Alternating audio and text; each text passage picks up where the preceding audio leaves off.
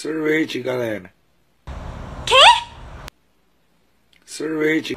Não! Sorvete. Não quero ouvir!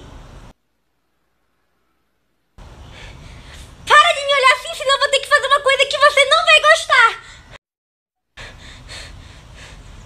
Você vai continuar? Você vai continuar? Então eu vou ter que fazer uma coisa que você não vai gostar. Eu vou ter que te engolir.